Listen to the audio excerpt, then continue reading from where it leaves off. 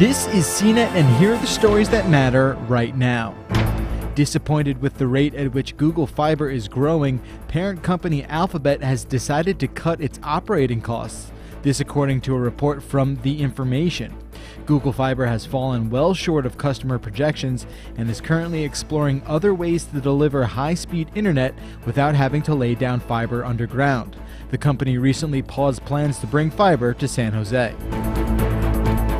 According to Bloomberg, Uber has lost at least $1.27 billion in the first half of 2016.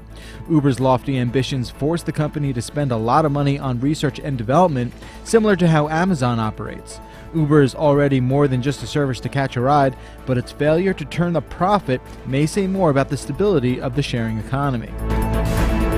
And finally, security experts at a firm called Lookout have uncovered a flaw in Apple's iOS platform after a human rights activist was being targeted. Ahmed Mansour said he started to receive suspicious texts with links in them. Apple rushed to close the exploit, and it's included in the latest iOS update. Stay up to date with the latest by downloading the CNET Tech Today app in the Apple App Store.